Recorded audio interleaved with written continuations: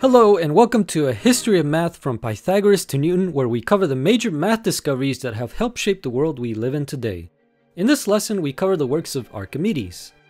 Archimedes was born around 200 BC in Syracuse, Sicily. He is considered one of the greatest scholars of antiquity. He was the very first person to calculate pi with a high precision during his time and discovered formulas for the circle and sphere. In order to discover pi, he used the method of exhaustion, Archimedes then used pi to discover that the area of a circle was pi r squared. He also used a method of levers to find that the surface area of a sphere is 4 pi r squared and that the volume of a sphere is 4 over 3 pi r cubed. He was so proud of his discoveries that he had his tombstone marked with the volume of a sphere. It is amazing to know that the original works of Archimedes was almost lost forever. Parchment that contained Archimedes' original work was erased to be reused.